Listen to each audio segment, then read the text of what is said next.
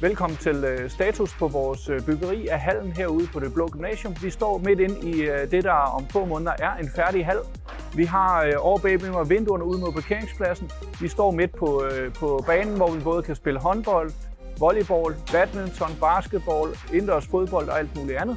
Herover der får vi vores tribuner sat op. Der bliver tre rækker, hvor man kan sidde og følge med. På væggene bag ved mig, der bliver der to store skærme, hvor man kan øh, både øh, få oplæg, man kan se videoer, man kan se alt muligt, der bliver fremlagt til konferencer. Øh, og derover så bliver der også måltavle til, der bliver boldspil med videre.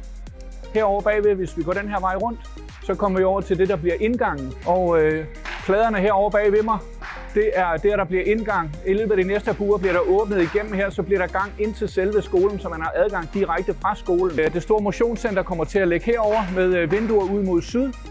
Og i den her side, der får vi øh, omklædningsrummene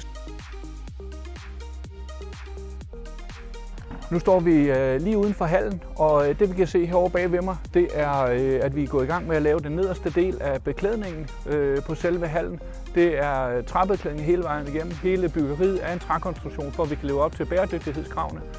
Øh, de plader, der er herover, bag ved dem, der, eller her der kommer vinduerne ind til selve motionscenteret, så man kan stå indenfor og kigge ud og omvendt og kigge ind, når vi, øh, når vi er i gang inde i motionscenteret.